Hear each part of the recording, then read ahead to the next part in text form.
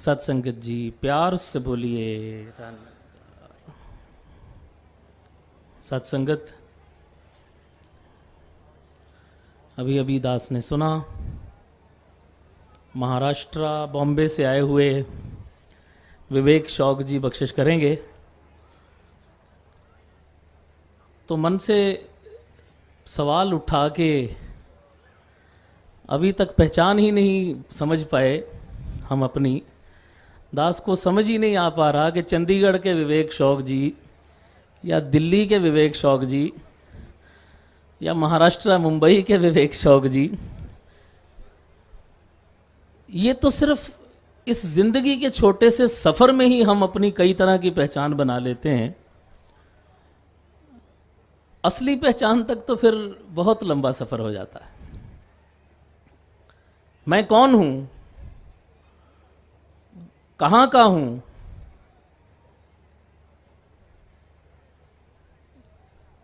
ये अपना अपना पर्सपेक्टिव है। सत्संगत बहुत रेफरेंस दिए ज़िंदगी में। वेदों, ग्रंथों, शास्त्रों की बातें सुनी और कहीं। महात्माओं से सुनी हुई बातों में से कुछ परिभाषाएँ बनाई गईं। लेकिन हर थोड़े समय के पश्चात ऐसा लगता था कि नहीं भाई, वो जो मैं कल तक कह रहा था, वो तो शायद ठीक नहीं था। फिर अपने आप को कॉन्ट्राडिक्ट करता है इंसान, फिर अपने बारे में सोचता है, फिर से एक विश्लेषण नया होता है, एक नया एनालिसिस जन्म लेता है, और फिर लगता है कि समझ ही नहीं पाया बात को।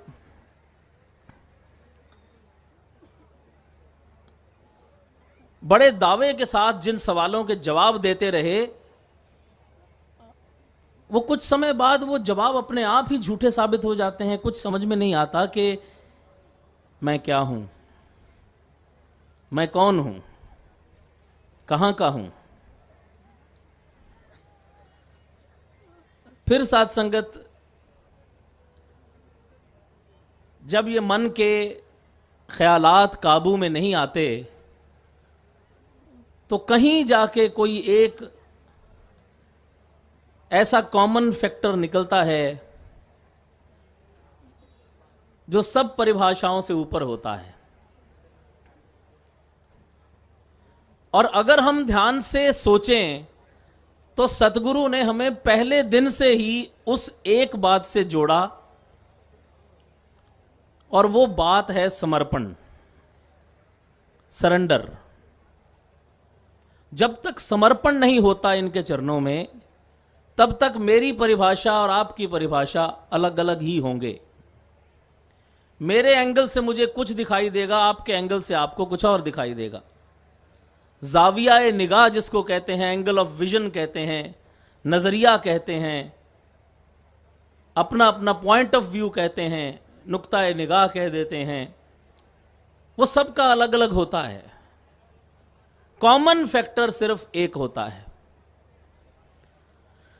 और इतनी खूबी के साथ साथ संगत इन्होंने अनेकता में एकता पैदा की है। यूनिटी इन डाइवर्सिटी इतनी खूबसूरती से पैदा की है कि हर इंसान को भरम डाला है कि मैं ही सोच रहा हूँ और जो मैं सोच रहा हूँ वो सही सोच रहा हूँ।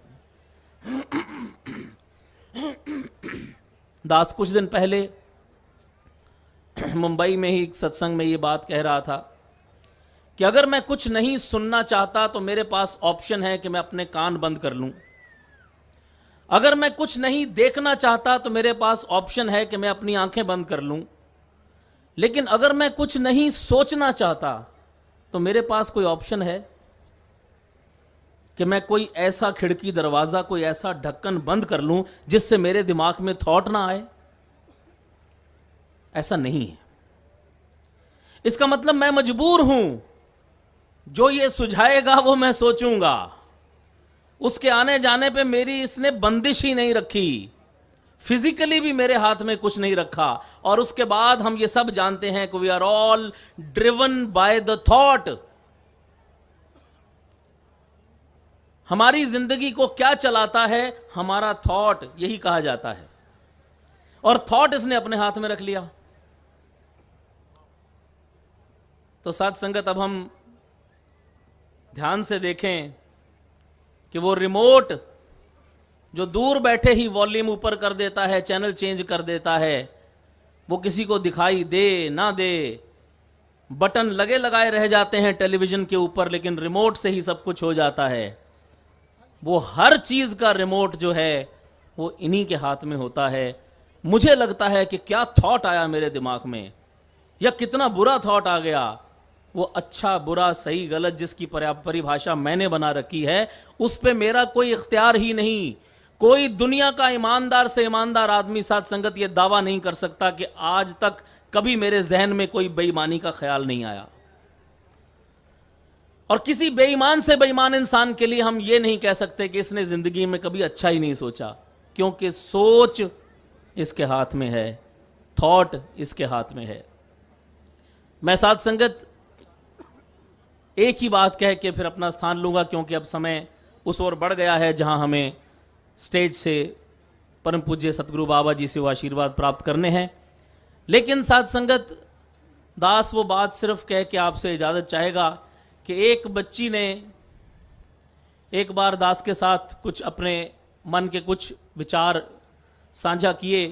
किसी समस्या से वो बच्ची, घरेलू समस्या से गुजर रही थी और बहुत ही विचलित थी। कि ये क्यों नहीं हो पा रहा? वो जो आराम से हो सकता है, वो क्यों नहीं हो पा रहा? जब सतगुरु सब कुछ कर सकते हैं तो फिर क्यों नहीं हो पा रहा?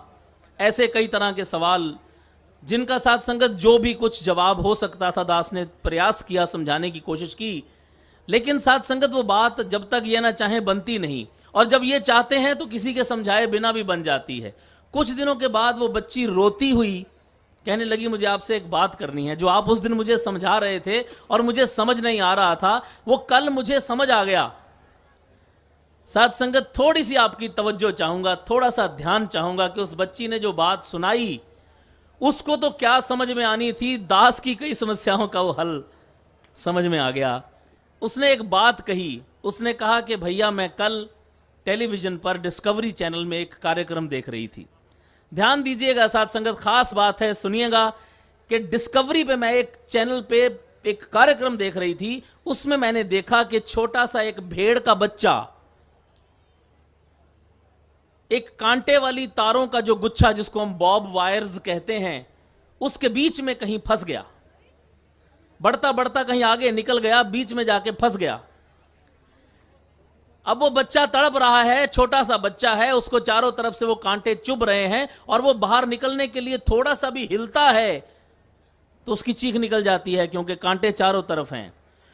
और उस भेड़ के बच्चे का जो मालिक है, वो वहाँ पहुँचा, आया, उसने देखा, लेकिन उसने उस बच्चे को निकाला नहीं। उसने मुआयना किया, वो वापस गया, उसने एक कैंची जैसे कुछ कटर लेकर आया और पीछे से कहीं से उसने वो तारें काटनी शुरू की। वो धीरे धीरे धीरे धीरे उन तारों को काट रहा है, बच्चा अभी भी तड़प रहा है, कांटों की तारों के बीच में फंसा है और वो तारें काट रहा है, दस, पंद्रह, बीस मिनट, आधा घंटा जो भी लगा। क्योंकि वो मालिक जानता था कि अगर इस बच्चे की पुकार सुन के मैंने इसी तरह से इसको वापस खींच लिया तो इसकी सारी चमड़ी छिल जाएगी। वो इसके हक में नहीं होगा। वो मालिक तारे काट के रास्ता बना रहा है और रास्ता बनाने के बाद जब वो रास्ता बन गया तो उसने आराम से उस बच्चे को वहाँ से बाहर निकाल लिया। और उस बच्ची ने यह बात सुना के रो रो के ये बात कही कि मैं बाबा जी से माफ़ी मांगना चाहती हूँ कि मेरे मन में ये विचार क्यों आया कि सच्चे पातशाह तू कर सकता है तो कर क्यों नहीं रहा? क्या पता ये कहाँ कहाँ से तारे काट के मेरे लिए रास्ता बना रहा है? क्या पता कि मेरे कहने पे अगर ये मुझे उसी वक्त खींच ले तो मेरी चमड़ी छिल जाए। साथ संगत, ये मेरे मन के विचार मुझे मजबूर कर देते हैं गिला करने के लिए, शिकवा करने के लिए कि तू तो सब कुछ कर सकता है, फिर करता क्यों नहीं? इसे करने तो दें, इसे इसके ढंग से करने तो दें, ये कर रहा है और इससे बेहतर यकीन कीजिए कोई नहीं कर सकता। बख्शिश करो साथ संगत, आप आशीर्वाद दो। कि इन पर विश्वास रखने का पर्पज ये है, मकसद ये है और सबूत भी यही है कि जो ये कर रहा है, जैसे कर रहा है और जब भी कर रहा है, मैं मान सकूँ, मैं इसके भाने में रह सकूँ, मैं इस बात पे यकीन कर सकूँ कि सच्चे पातशाह जो तू कर रहा है, उससे बेहतर तो हो नहीं सकता। और अगर तू नहीं कर रहा तो कोई कारण ही होगा कि नहीं कर रहा। सात संगत सुखमनी साहब की वो लाइन आती है। डैडी हमारे ज़रूर वो ज़िक्र किया करते थे कि इसते हुए, सो ना ही बुरा, औरन कहो किने किच करा कि जो इसते होता है, इसके हाथों होता है, वो तो बुरा होता नहीं। और आप बता दो कि इसके अलावा और कोई कर रहा है? अगर यही कर रहा है तो फिर तो अच्छा ही हो रहा है। दास तो यही आपसे आशीर्वाद माँगता है अंत में। कि कृपा करो, इस सारी बात के बाद तो जहन में यही ख्याल आता है कि दुनिया में अगर मुझे कोई भी चीज़ बुरी लग रही है, या मैं किसी चीज़ के बारे में कह रहा हूँ कि भाई साहब जी, ये तो बड़ा गलत हो रहा है, ये सही नहीं हो रहा तो कहीं ना कहीं मैं बनाने वाले की निंदा कर रहा हूँ। वाह। अगर एक फ़िल्म के बारे में मैं कह देता हूँ कि ये फ़िल्म अच्छी नहीं है तो फ़िल्म का क्या कसूर है? बनाने वाले को फ़िल्म बनानी नहीं आई। मैं मेकर की तारीफ़ या मेकर की निंदा कर रहा हूँ। इसी तरह साथ संगत, रचना की की हुई बुराई, रचनहार की बुराई है, रचना की की हुई तारीफ़, रचनहार की तारीफ़ है। आज के बाद आपसे साथ संगत यही दुआ माँगता हूँ कि दुनिया में कुछ भी बुरा नहीं है, मुझे लगता है तो कहीं ना कहीं मेरी समझ का फ़र्क है। साथ संगत, आओ इन पे वो विश्वास बन जाए कि जो तुद भावे साई भली कार तू सदा सलामत निरंकार साथ संगत प्यार से बोलिए। धन्यकार।